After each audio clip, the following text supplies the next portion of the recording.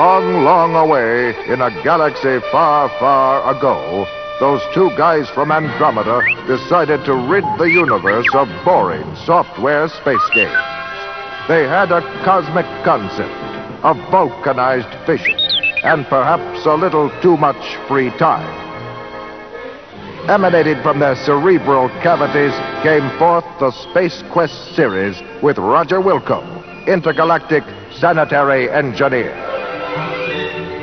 Now the 3D adventure game continues with Space Quest 3, The Pirates of Pestulon. Once you've donned the space boots of Roger Wilco, it's up to you to save the universally acclaimed software authors, those two guys from Andromeda, from a fate worse than death.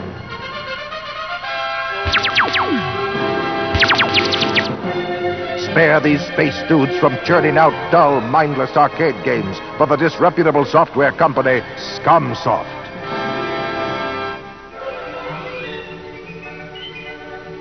To save our heroes from software slavery, you must travel to many strange and interesting planets, and perhaps sample some of the best cosmic cuisine in the galaxy. Eat hearty, though. You're going to need all the strength you can muster to hang on through this 3D adventure.